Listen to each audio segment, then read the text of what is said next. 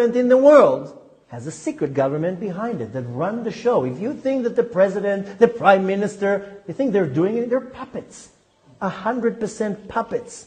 They control armies, nations, governments, all the money in the world, all the richest families in the world, Rothschilds and the Rockefellers and I can tell you already one thing that anyone that somehow made money within a very short span of time has to be part of it.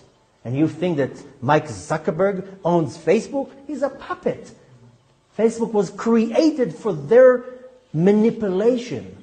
Same thing with YouTube, same thing with WhatsApp and Instagram and Netflix and everything. How did Netflix become so big within two years? Only with the power of the ultimate un- endless money of the world. And it's much more than that. World War One was designed by them. World War Two, designed by them. Federal Reserve, which people think be- belongs to the American government. Doesn't belong to the government even. It's a private organization. NASA, CIA, the assassination of JFK, who was the first one who ever talked about it, got a bullet in his head. Needless to say, the attack on the Twin Towers, it wasn't bin Laden. It was all one big agenda because they needed to go to Afghanistan. You know why? To put pipes in the sea. It's all one big show. We're being fooled, and, and millions of Americans are cheering. We're going to a, a, a war against terror. No, you've been fooled. And you think it's different in Israel?